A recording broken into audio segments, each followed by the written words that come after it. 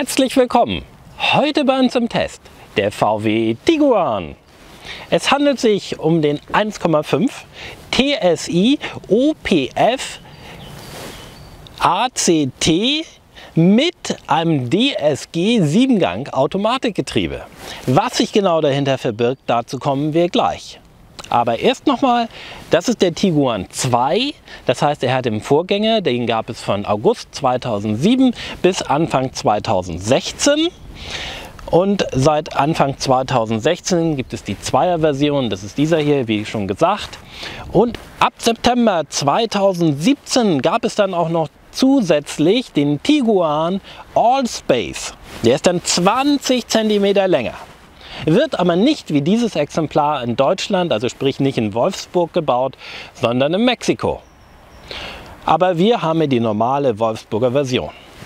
Hierbei handelt es sich zusätzlich neben diesen vielen Abkürzungen auch noch um das Sondermodell Join. Den Join erkennt ihr an folgender Zusatzausstattung. Nebelscheinwerfer, Leichtmetallfelgen, auch wenn diese glaube ich auch noch optional sind die Join Sonderaufkleber auf den Kotflügeln. Hinten abgedunkelte Scheiben und oben haben wir dann noch die Dachreling in Alu. Im Innenraum haben wir andere Polster, eine graue Naht. Unten haben wir alugebürstete Abdeckung für die Pedale, Schublade auf beiden Seiten. Von der Funktion her haben wir dann Radio Composition Media mit Navigationsfunktion Discover Media, CarNet-Funktion Guide and Inform, dann das Winterpaket, sprich Sitzheizung vorne und ich glaube es sind auch beheizbare Scheibenwaschanlage dabei. Dann haben wir die Klimaanlage RK Klimatronik, das heißt also drei Klimazonen, zwei vorne, eine hinten, ein Lederlenkrad, ein Multifunktionslenkrad mit ACC, also automatische Distanzregelung, ACC bis 210 Stundenkilometer, den Front Assist, dass man nicht auffährt. Ja, dann hat das Modell noch fünf Jahre Garantie, die sich darauf beziehen, dass er zwei Jahre standardmäßig Garantie hat und drei Jahre Anschlussgarantie dazu erhält, allerdings nur bis 50.000 Kilometer. Das wiederum bedeutet 10.000 Kilometer im Jahr. Zusätzlich hat er folgende Ausstattungsfeatures über das Sondermodell hinaus. Das Airline-Paket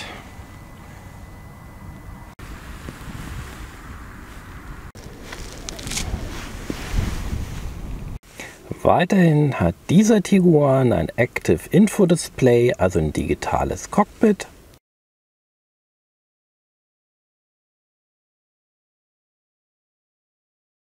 Zum Motor. Die Motorhaube öffnet man, indem man hier einen Hebel nach oben drückt. Das ist ganz leicht und ganz einfach. Gasdruckdämpfer halten die Haube, das heißt, ihr braucht auch keinen Aufstellhebel. Das hier ist der 1,5 Liter Motor TSI. Das ist der Nachfolger von dem 1,4 Liter Motor, den wir schon im Passat mal vorgestellt haben. Damals fanden wir, es war ein super Motor. Dieser sollte eigentlich noch besser sein. Und so hört er sich an.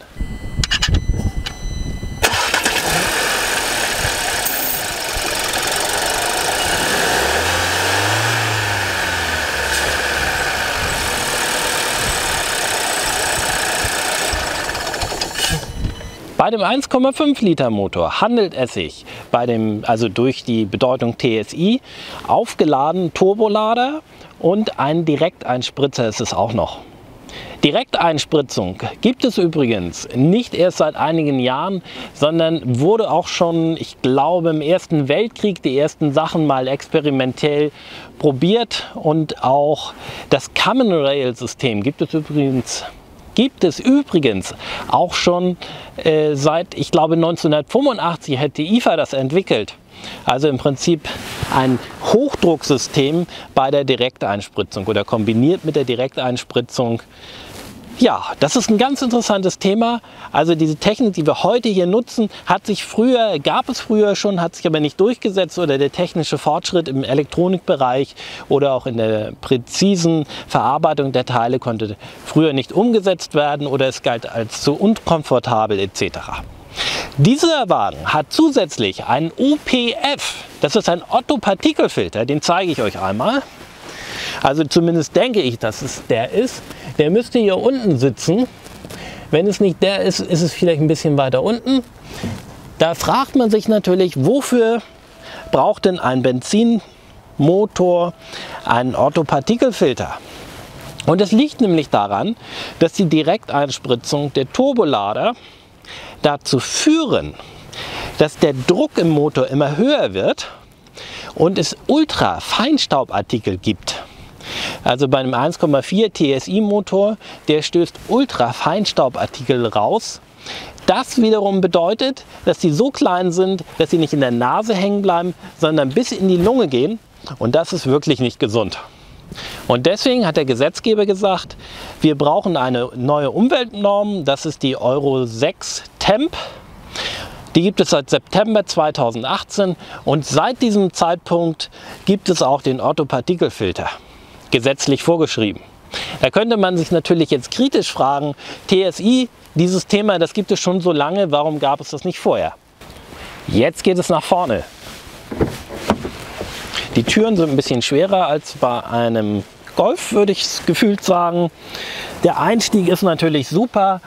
Wobei hier kommt man auch fast so ein bisschen entgegen, aber das ist alles gut. Das Auto ist schon geräumig gebaut.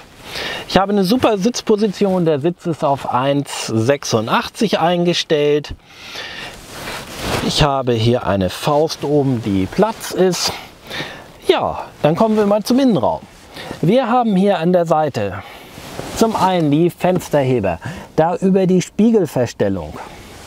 Hier hinten kann man noch mit diesem Schalter hinten die Fenster sperren, wenn man da Kinder hat.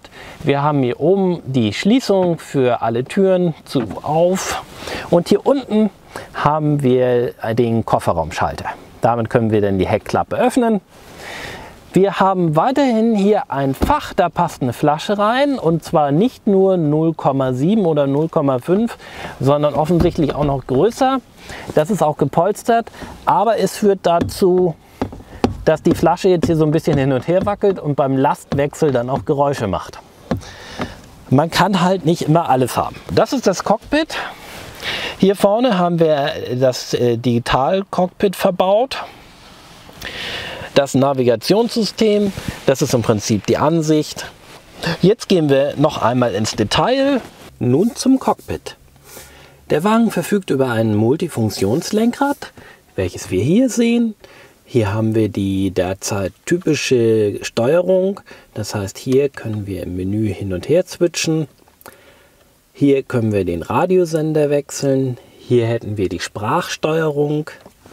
Hier können wir View, die Ansicht wechseln. Hier drüben haben wir den Tempomaten mit ACC, also automatische Distanzkontrolle. Set zum Setzen, Reset zum Aufheben oder diese Taste auch, um einzelne Schritte nach oben und unten zu machen. Und rechte Taste 10 nach unten, linke Taste 10 runter. Also 10 rauf, 10 runter. Hier können wir noch die Lautstärke einstellen, Plus und Minus. Und das wäre es im Groben. Hier hinten haben wir noch einmal Plus und Minus Schaltpedals. Auf der linken Seite haben wir dann noch einen Blinker und auf der rechten Seite den Scheibenwischer, aber dazu komme ich gleich nochmal. Wir können mit View nun entsprechend verschiedene Ansichten aufrufen. Um das plastischer zu machen, gebe ich noch einmal ein Navigationsziel ein. Die Routen werden berechnet. Bitte wählen Sie eine Route. Das Ziel liegt in der angezeigten Richtung. Dann sehen wir hier einen Navigationspfeil, dass wir erstmal Offroad geradeaus fahren sollen. Und wir haben auch die Möglichkeit, hier in dem Active Display bei VW hier in der Mitte die Karte entsprechend einblenden zu lassen. Wir haben verschiedene Ansichten. Das wäre hier komplett die Karte. Das ist so eine geteilte Ansicht. Das mit Rundinstrumenten, das wieder komplett. Die entsprechenden Erklärungssymbole wie Kilometer etc. oder welchen Gang man gerade hat oder wie weit die Distanzentfernung ist, das verschiebt sich.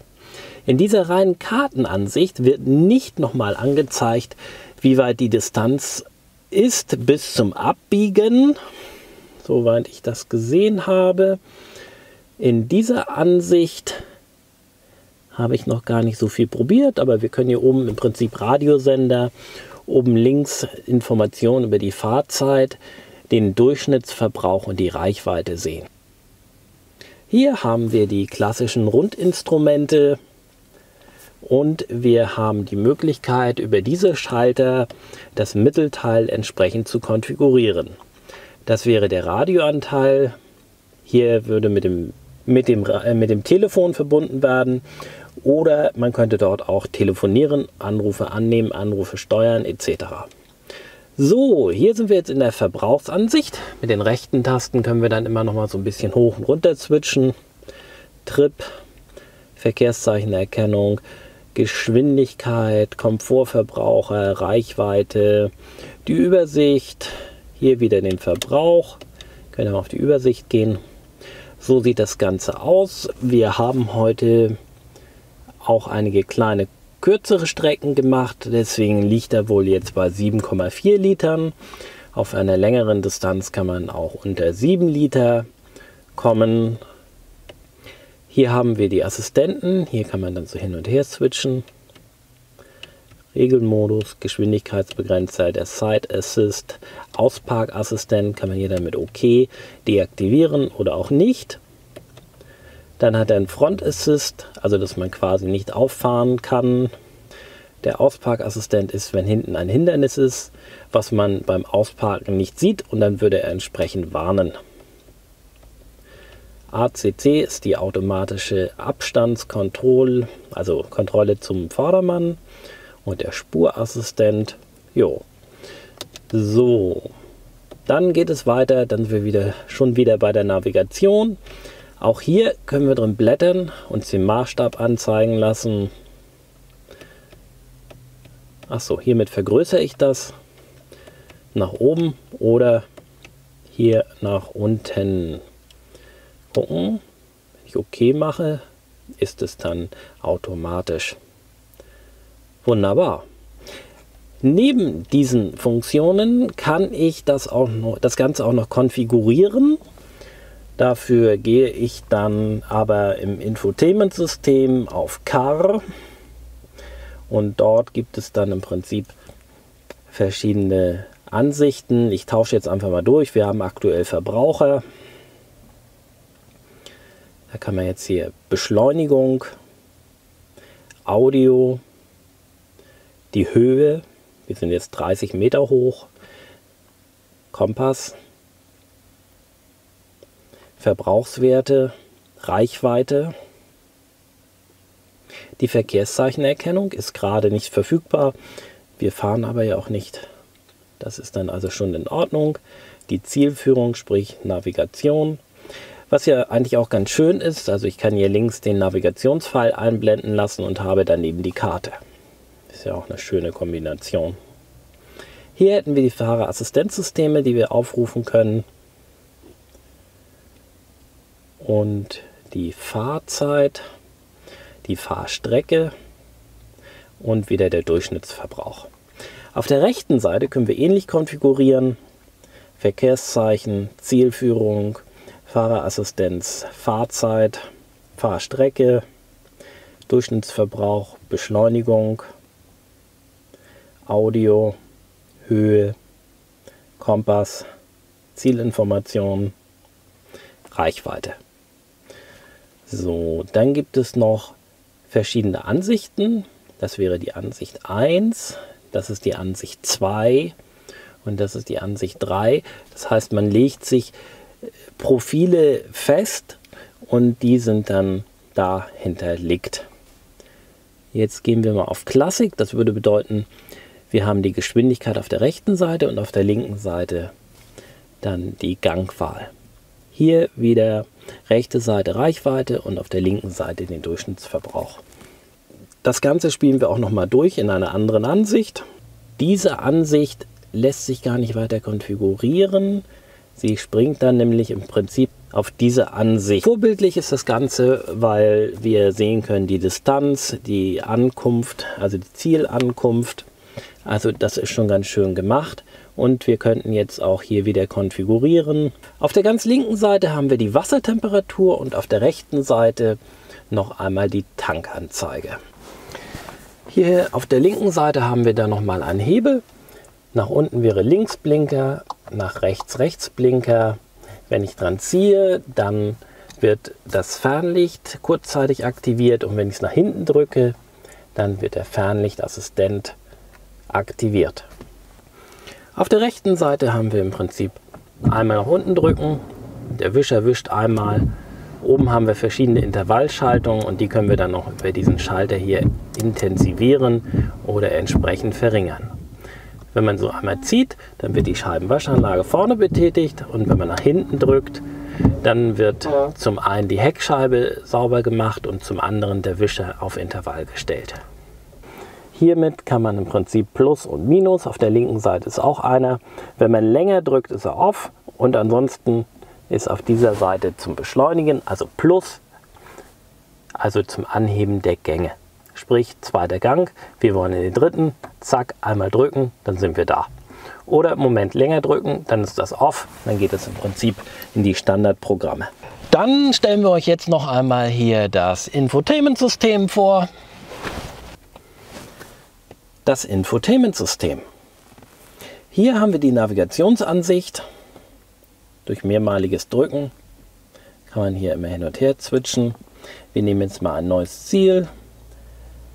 Buxtehude, Niedersachsen. Da starten wir einfach mal. Berechnet. Bitte er macht wählen Sie eine Route. drei Vorschläge für Routen. Dann nehmen wir jetzt mal die erste. Wenn uns das... Das Ziel liegt in der angezeigten Richtung. Jetzt fällt uns ein, wir wollen aber noch ein zweites Ziel ansteuern. Auch das geht.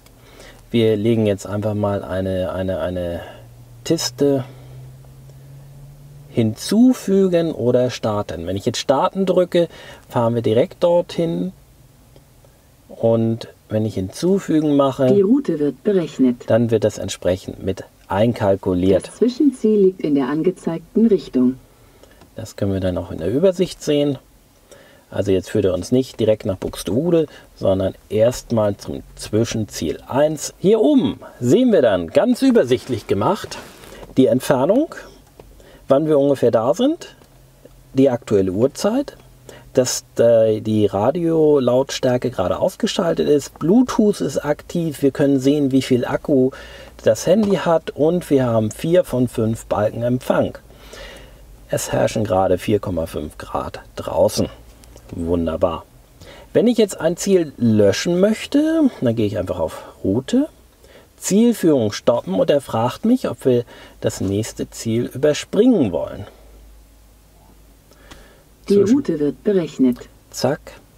Die Neuberechnung erfolgt. Das Ziel liegt in der angezeigten Richtung. 3,2 Kilometer, alles wunderbar. Dieses System arbeitet zügig, das ist völlig in Ordnung. Man kann damit arbeiten, ohne dass man irgendwie ausgebremst wird. Auch kleinere Änderungen, das macht er alles wunderbar. Wir haben dann als weitere Punkte meine Ziele, Sonderziele. Hier werden nur drei angezeigt, aber man kann über die Routeneingabe auch noch andere Sachen eingeben. Man kann verschiedene Ansichten auswählen. Zum Beispiel hier diese ganze Routenansicht die Zielumgebung 3D. Dann guckt man so ein bisschen quer drauf oder einfach platt von oben 2D. Ich mache mir ganz gerne 3D. Dann gibt es Auto Tag und Nacht. Auto funktioniert hier wunderbar. Also es ist sowohl abends als auch tagsüber aus, wunderbar ausgeleuchtet. Wir haben hier noch Ansicht der Sonderziele, also zum Beispiel Tankstellen angezeigt werden. Und wir haben die Möglichkeit, ein Zusatzfenster einzublenden. Das ist im Prinzip auch das, was hier auftaucht, wenn wir die Karte dann drüben im Display rüber switchen. Dann kann man hier noch ansagen. Das Ziel liegt in der angezeigten Richtung. Nochmal wiederholen oder die entsprechende Lautstärke anpassen. Dann gibt es auch ein Setup.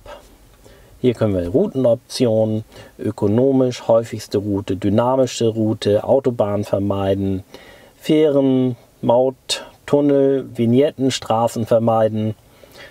Da sollte man noch mal darauf achten, das ist der Unterschied, ob man auf einer Mautstraße fährt oder ob man eine Vignette braucht. Ah, hier kann man auch noch Anhänger berücksichtigen. Das ist ja auch ganz schön. Und neben ökonomisch gibt es dann noch schnell und kurze Route. So, wir können den Speicher verwalten. Höchstgeschwindigkeit, die Information zu dem jeweiligen Land, in dem man sich gerade befindet. Versionsinformation. Das hier ist ECE 1 2018-19. Dann haben wir hier die Karte. Verkehrszeichen anzeigen, Spurempfehlungen, Favoriten anzeigen, Sonderzeichen, Markenlogos verwenden. Dann haben wir die Navigationsansagen. Hier können wir die Lautstärke festlegen.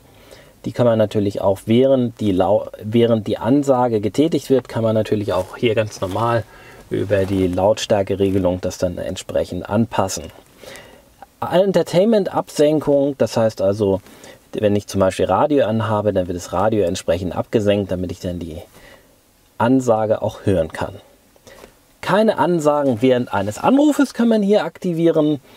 Und Hinweis zu Sonderzielen, Tankoptionen, Tankwarnung. Und hier kann man dann auch noch eine entsprechende Tankstelle hinterlegen, die man dann vielleicht favorisiert und Tankwarnung, wenn der Tank sich dem Ende neigt. Erweiterte Einstellungen, Zeitansage, das kann man hier auch nochmal anstellen. Entweder die Fahrzeit oder die Ankunftszeit. Statuszeile könnte entweder Ziel oder Zwischenziel sein. Hinweis, Ländergrenze überqueren. Oder wir können hier zum Beispiel auch in den Demo-Modus gehen und entsprechend uns ein Demo anzeigen lassen. Aber das lassen wir jetzt mal. Ihr habt ja schon gesehen, wie das System arbeitet. Das zum Navigationssystem. Hier gibt es App. Das heißt also, wir können das Telefon damit verbinden. Dafür gibt es hier unten eine entsprechende USB-Buchse und dann kann man das damit dann verbinden. Also ein großer USB und ein kleiner. Ich mache das mal einmal. Mal sehen, was jetzt passiert. USB 1 wird gelesen. Android Auto wählen wir. Bitte verachten Sie okay. Die Verbindung wird jetzt wohl hergestellt.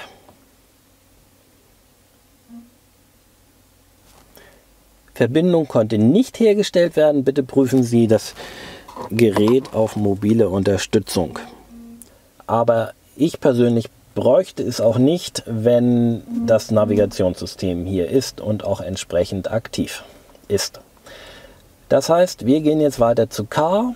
In Car haben wir im Prinzip das Active Display, welches wir konfigurieren können.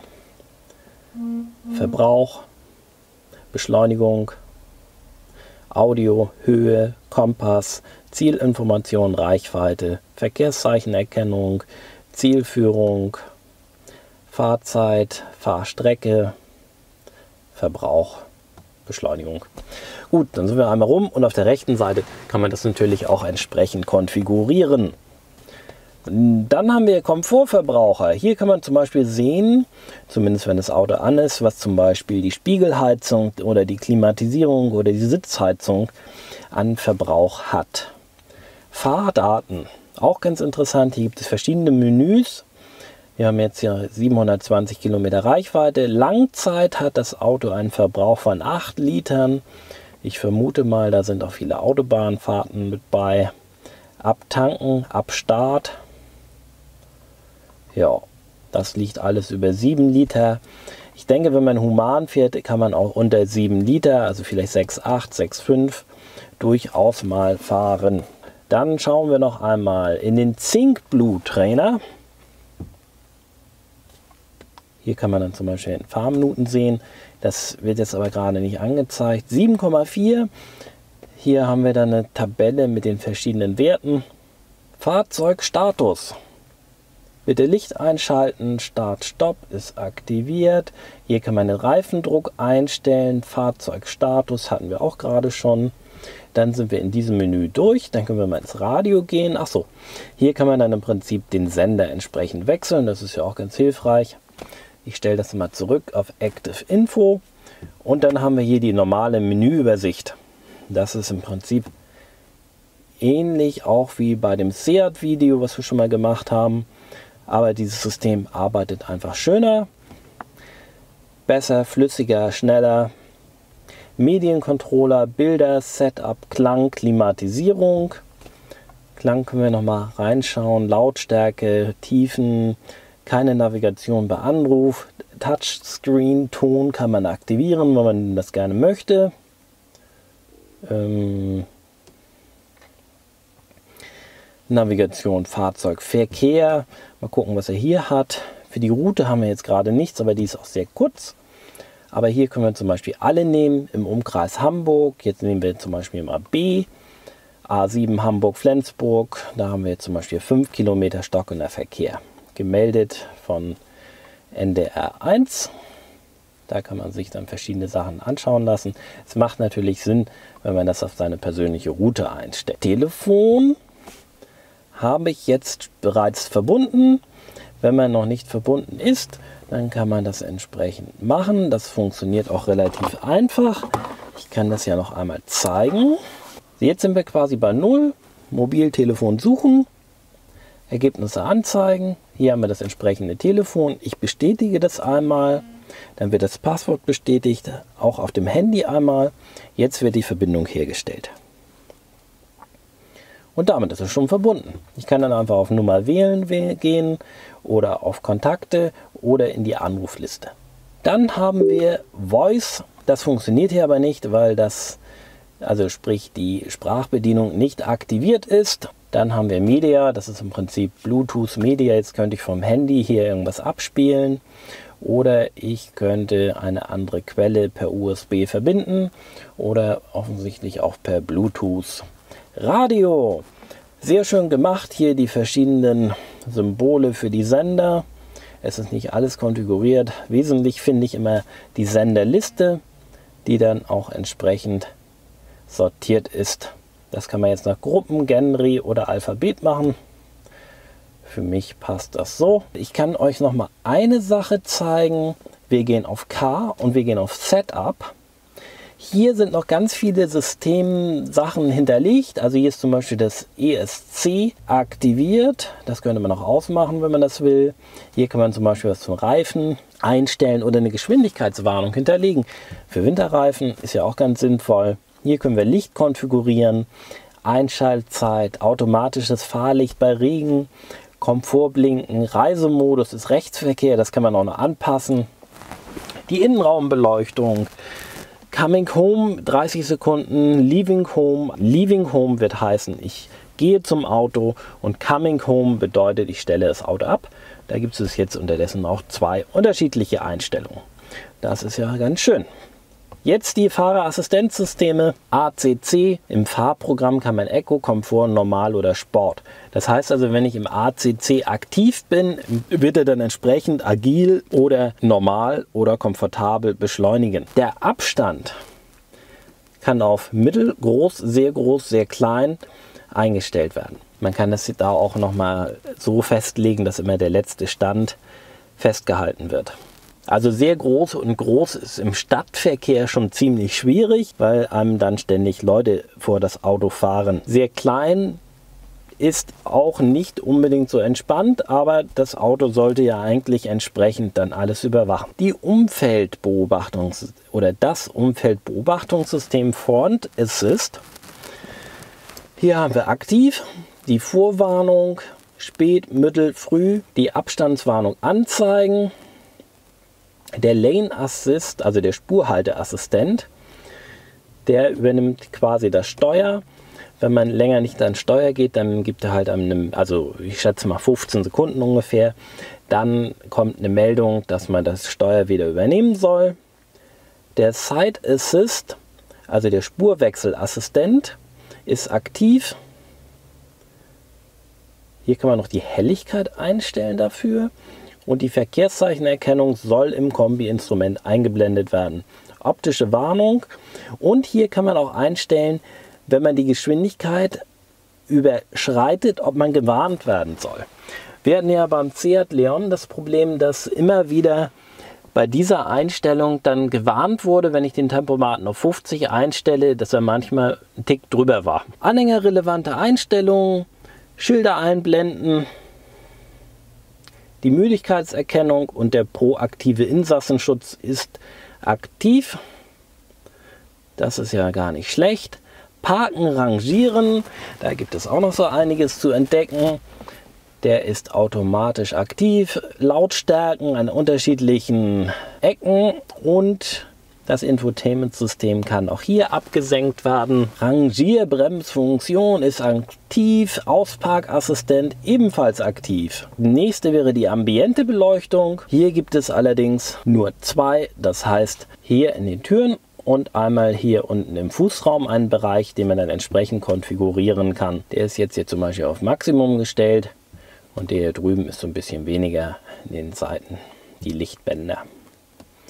Dann haben wir Spiegelwischer, Spiegel synchron verstellen, absenken im Rückwärtsgang, einklappen bei Verriegeln, das ist hier auch elektronisch. Scheibenwischer automatisch wischen bei Regen, Heckwischen im Rückwärtsgang. Also, dass, wenn man da losfährt, dass das auch einmal frei gewischt wird. Öffnen und schließen alle Fenster, alle Türen. Also hier kann man, das ist die Komforteinstellung. Das heißt, man kann über die Fernbedienung dann zum Beispiel die Fenster alle schließen und das hier entsprechend einstellen. Also das könnte man zum Beispiel auch ausstellen. Türentriegelung. Alle Türen oder nur Fahrertür oder nur fahrzeugseitig. Die automatische Verriegelung ist aktiviert. Dann kommen wir zum Kombi-Instrument. Hier ist die Einstellung für das Active Info Display. Also kann man auch hier drüber auswählen, aber das hatten wir im Wesentlichen. Hier kann man Komfortverbraucher, Eco-Tipps, digitale Geschwindigkeitsanzeige, Öltemperatur, die Verkehrszeichenerkennung, die Fahrdaten, kurz, lang, ab Start und hier ganz auch wichtig, den Wegstreckenzähler im Kombi-Instrument zurücksetzen.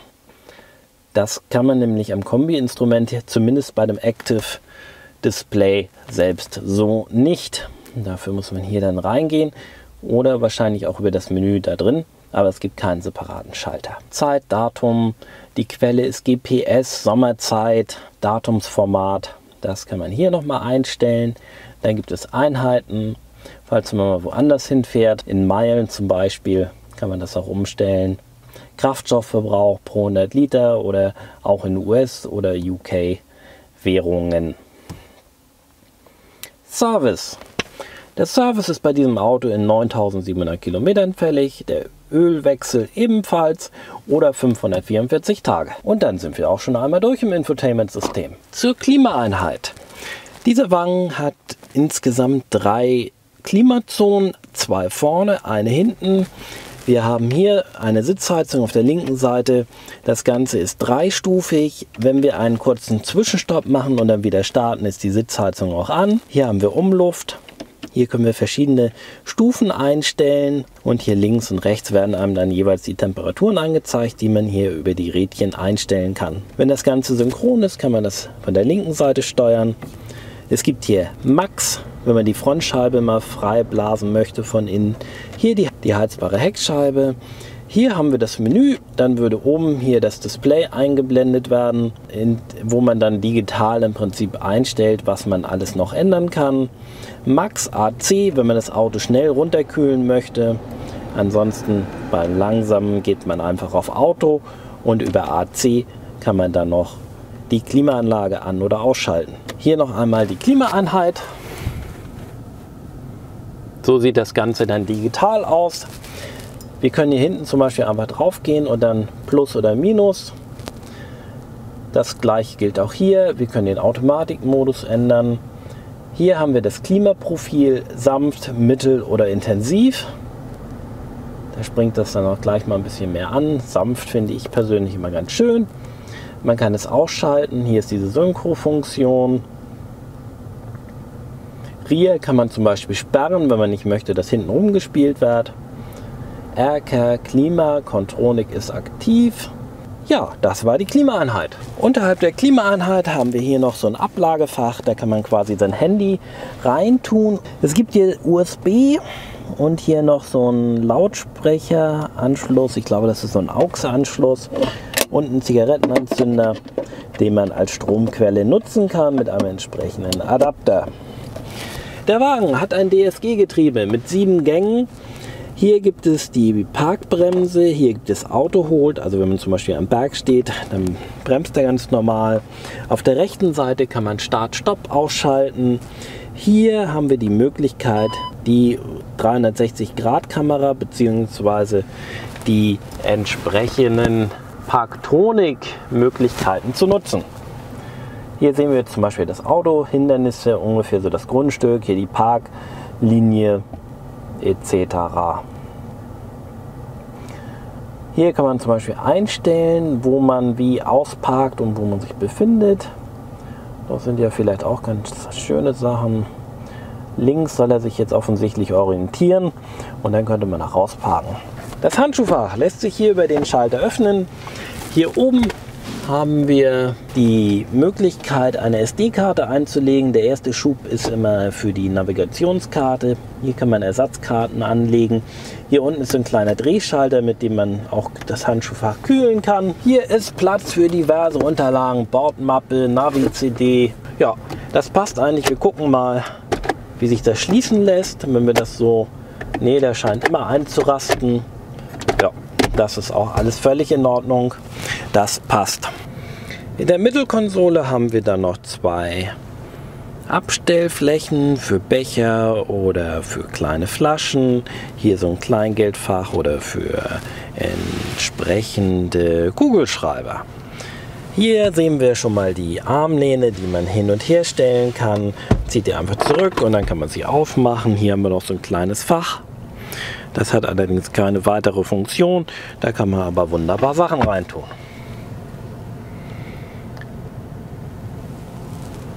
Lüftungsdüsen etc. können wir hier noch sehen.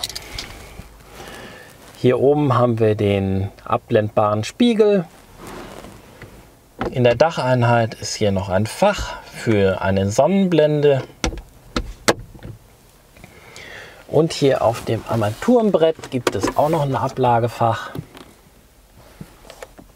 Das ist aber noch, das ist auch ein bisschen tiefer. Das kann man jetzt hier gerade nicht so gut sehen. Aber da passen auch noch ein paar Sachen rein. Die Spiegel sind selbstverständlich beleuchtet mit einem Lämpchen darüber. Und hier sehen wir noch einmal die verschiedenen Einheiten.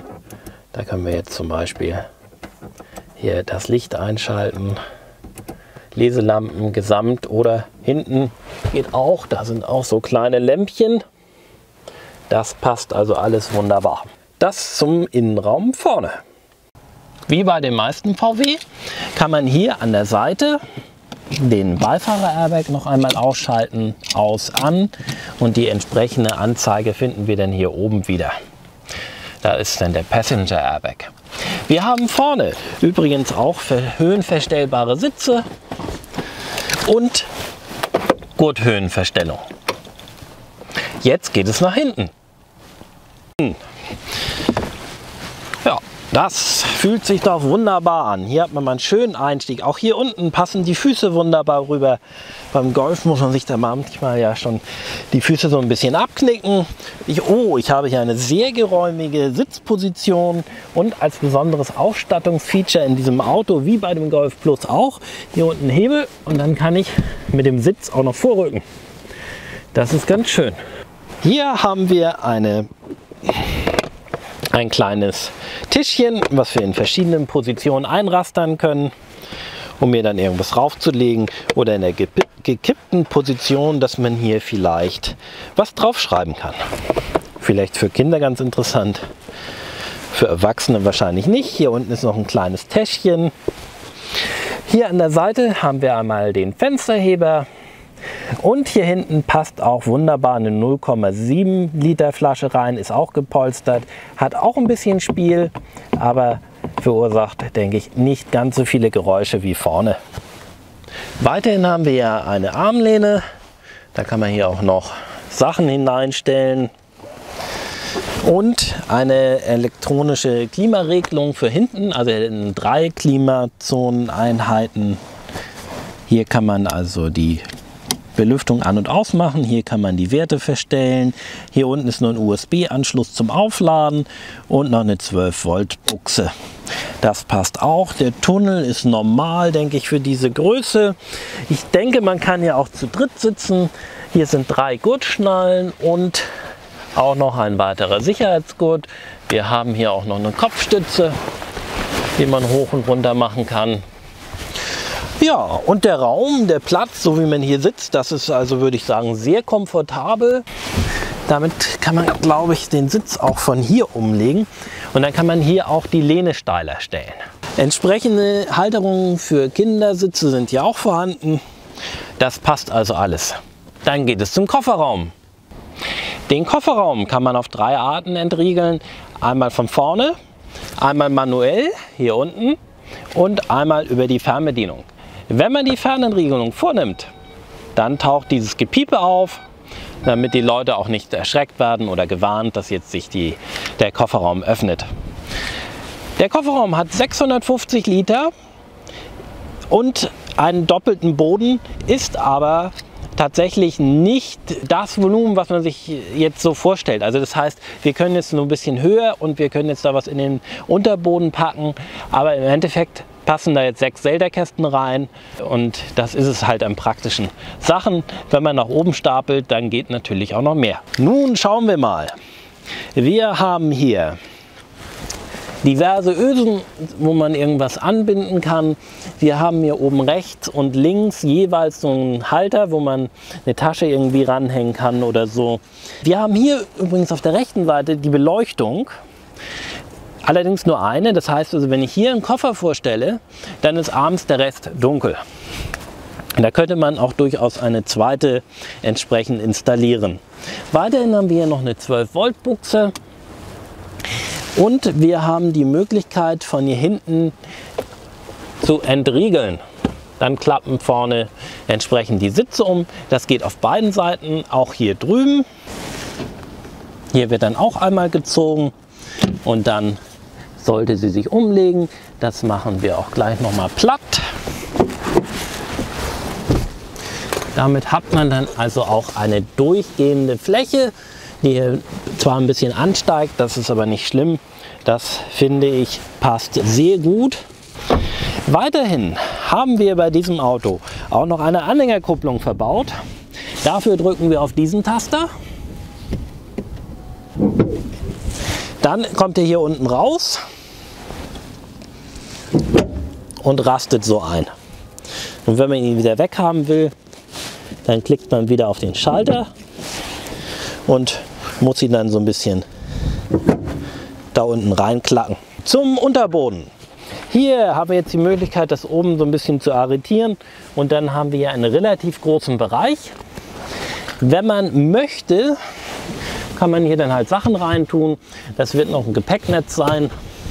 Das ist aber nicht so aufregend. Man kann den Boden aber auch nehmen und nach unten setzen. Dann hätte man zumindest theoretisch, dann hat man zwar da hinten die Kante, aber man könnte ja theoretisch dann zum Beispiel höher stapeln. Zum, vielleicht sogar zwei Getränke rein oder so. Wobei ich glaube, das passt nicht ganz. Aber nur damit ihr es mal gesehen habt. Wenn man die Rückbank wieder zurück machen will, braucht man sie nur hochklappen bis hier. Dann muss man hier unten an der Schlaufe noch einmal ziehen und dann kann man sie ganz zurückdrücken. Dann ist die Bank wieder arretiert.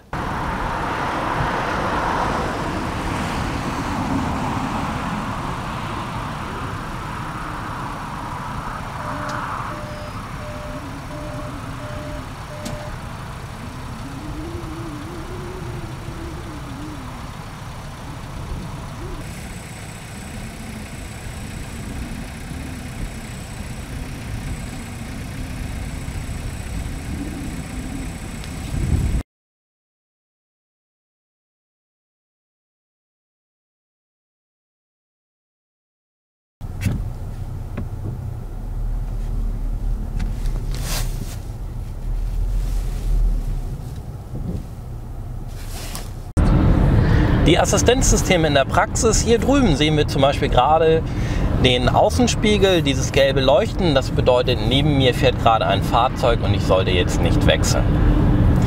Dann zeigt uns hier gerade der Lenkassistent, dass wir das Steuer übernehmen sollen. Das machen wir natürlich auch. Der ist immer aktiv, wenn wir hier unten diese grünen Autospuren haben. Und woran er sich gerade orientiert, können wir links im Mittelsymbol erkennen. Also wenn da links und rechts vom Auto weiße Streichen, Streifen, Spurstreifen sind, dann orientiert er sich an beiden. ACC, das ist der automatische Distanztempomat von VW. Das heißt, der hält automatisch Abstand zu dem Vordermann. Das ist im Wesentlichen diese Einheit. Hier unter haben wir die Lautstärke, aber das hier ist alles für den Tempomaten. Um ihn auszuschalten, kann man hier oben einmal drücken und wenn man ihn einschalten möchte, braucht man im Prinzip nur bei der gewünschten Geschwindigkeit auf Set drücken. Und jetzt ist er auch schon aktiv. Auf 88, nee, auf 90 Stundenkilometer ist er jetzt, das können wir hier unten im Display sehen, fixiert. Wenn ich an der silbernen Taste wippe, kann ich zum Beispiel auf 100 erhöhen oder auf 80 etc. Hier kann ich immer in 10er Schritten erhöhen oder in 10er Schritten reduzieren. Beschleunigen tut er nicht, weil er automatisch Abstand hält zu dem Vordermann. Ich könnte ihn jetzt auf 200 stellen, aber er würde nicht schneller fahren, weil er ja das Auto davor nicht rammen soll. So, über diese beiden Tasten, also über diese Taste oben und unten, können wir Einzelschritte festlegen. Also 101, 102 oder runter 189, 88, 87. Ja, also Einzelschritte nach oben und unten wäre im Prinzip Z oder einer Schritte nach unten. Damit haben wir hier noch eine weitere Funktion. Das ist dieser Button. Mit dem können wir denn den Abstand zum Vordermann festlegen. Also ich drücke hier drauf und dann kann ich mit Plus dann den Abstand zum Vordermann vergrößern oder mit Minus verringern. So, ich mache das mal auf ein Mittelmaß. Okay. Hier unter haben wir übrigens noch einen Taster. Das ist, um die Assistenzsysteme aufzurufen. Die sehen wir jetzt hier im Display. Also da finden wir den Lane-Assistenten, ACC, den Geschwindigkeitsbegrenzer, den Side-Assistenten, den Ausparkassistenten, Front Assist und so weiter. Wir haben hier ein 7-Gang DSG-Getriebe, also ein Direktschaltgetriebe. Da können wir jetzt zum Beispiel auch manuell über die Schaltpedals hier am Lenkrad schalten. Das heißt, ich kann jetzt zum Beispiel einen runter machen, dann zeigt er hier im Display M6 an ich könnte jetzt auf M5 gehen, dann steigt natürlich auch die Drehzahl. Oder ich verwende den rechten Pedal, der schaltet hoch. Und wenn ich länger rechts drücke, dann springt er wieder auf D, das heißt, er fährt im Automatikmodus. Grundsätzlich hat der Tiguan eine sehr gute Geräuschdämmung. Auch hier, wir fahren jetzt knapp 90 Stundenkilometer, das ist wunderbar. Aber wir haben ja den 1,5 Liter Motor, jetzt beschleunigen wir einfach mal man merkt schon, dass er mit seinen 150 PS zwar vorankommt, aber er ist bei weitem kein Sportwagen. Jetzt haben wir 150 Stundenkilometer und wir merken auch schon, dass Windgeräusche durchaus wahrnehmbar sind. Ja, aber 170 geht es noch, 180, jetzt wird es ein bisschen lauter. Ja, jetzt merkt man das schon. Also das könnte jetzt noch mal ein bisschen besser sein. Gemessen an der Fahrzeugklasse an sich ist das aber natürlich eigentlich ein super Ergebnis. Den Tiguan gibt es als Benziner in drei Varianten. Als 1,5 TSI Motor, also mit 1,5 TSI Motor. Das ist dieser hier. Der hat allerdings keinen Allradantrieb. Gut, dann gibt es aber noch den 190 PS mit 4Motion das heißt also Allradantrieb und eine Version mit 230 PS. Der hat ebenfalls Allradantrieb. Des Weiteren gibt es in der Diesel-Variante sowohl einen mit 150 PS, den kann man mit und ohne Allradantrieb bekommen, und einen mit 190 und 240 PS. Und Versionen mit 190 und 240 PS, die haben dann auch beide 4Motion, also Allradantrieb. Bei den kleinen Versionen hat man halt immer die Wahl und bei diesem hier gibt es halt gar keinen Allradantrieb. Zum Verbrauch. Der Verbrauch lag bei uns um die 7 Liter.